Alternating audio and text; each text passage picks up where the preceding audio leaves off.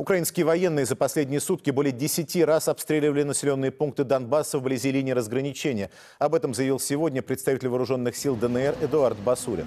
По его словам, под огонь попали поселок Коминтерново и район Донецкого аэропорта. Напомню, в начале недели участники контактной группы в Минске договорились об установлении в регионе с полуночи 23 декабря режима полной тишины и прекращения любых маневров техники. Однако, когда сегодня миссия ОБСЕ попыталась выехать на место, украинские силовики сделали все, чтобы наблюдатели не смогли туда добраться. Украинская сторона безопасность не гарантирует с своей стороны. И представители миссии ОБСЕ по своему протоколу не смогли выехать на данное место и зафиксировать э, данный обстрел. А, Сейчас украинская сторона ведет игру. Она ждет, когда стемнеет, и после этого, я предполагаю, она даст разрешение по безопасности со своей стороны.